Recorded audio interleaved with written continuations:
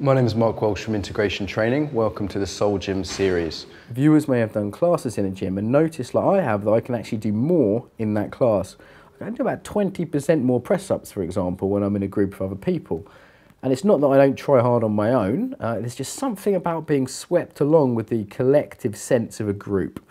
Now, we're social animals, and being able to be with a group is, a particularly useful skill. So, in any company, for example, or just another person in a relationship, being able to be with someone is, is vital. Counselors and, and people working esoterically with meditation actually have words for this.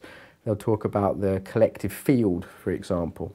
And this might sound a bit weird, but all this means in, in a gym class is that you're aware of other people and you're aware that there's a we as well as an I there.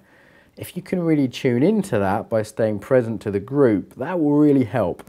That will help what the work you're doing, it will help you be more in touch with other people emotionally, uh, and it'll help you enjoy what you're doing. The great thing about a gym is we can actually practice this, and it doesn't mean you know going around staring at anyone or touching anyone. It just means being aware that you're in a group, and critically, we can practice it under pressure. So what happens for many people is under pressure, they either lose themselves and put all their attention on the teacher or the group, or they go into themselves and start uh, contracting and suffering. You'll see people sort of closing their eyes. Um, and this actually makes the pain, the discomfort they might be feeling from, say, doing a lot of press ups or running a lot actually much worse. So, being able to stay present with oneself and this sense of the group at the same time this is a critical life skill for leadership, for love, for many, many things. Uh, and a gym is a place we can practice that.